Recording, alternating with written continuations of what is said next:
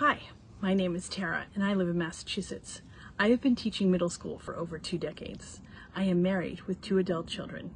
I have been working with Jeannie, aka the Breathwork Boss, my stress coach, for about six months. I first attended her stress detox event and truly connected with her message. It was exactly what I was looking for a way to make my mental, physical, and emotional health a priority. After attending the stress detox, I was offered a free session to try out one on one coaching. I have to admit, I was super nervous and anxious about what to expect. Jeannie assured me that it was a safe place to, for me to feel my real feelings. She assured me with comments like no judgment and other Jeannieisms, which helped me to solidify her support. After this initial meeting, it felt different from sessions with my therapist. It was obvious as a coach that she truly wanted me to heal. It wasn't just about listening to me, she wanted to help me take action and help me to grow.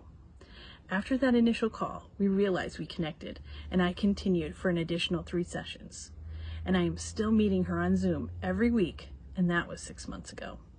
Even though I was hesitant at first, I have grown to appreciate this growth as a process. I had to be ready to commit my time, my energy, and my money to want to make change. I am finally investing in myself. Jeannie is genuine and kind, while at the same time holds me accountable.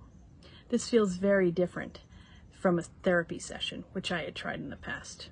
She is even available when I need her in between sessions.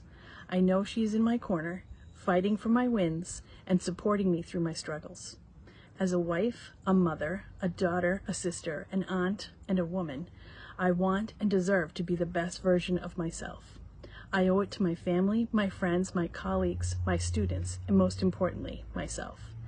Jeannie continues to coach me and help me to grow.